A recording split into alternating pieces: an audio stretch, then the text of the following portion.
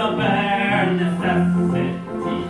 A list of the bare necessities for what? For 1,700 guests. That seems a lot. Don't have any king crab on the.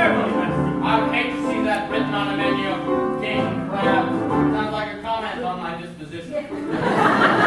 About baby lobsters for the salad. Wow! 500 beds for the pie. Aye.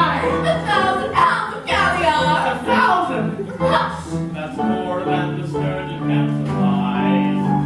I told this doing to get forty acres of lettuce and six hundred men from Rosie. What about the marshmallow? Who wants marshmallow? I do! Why? Or no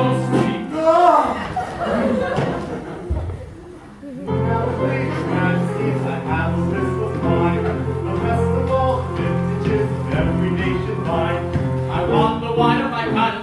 cuts.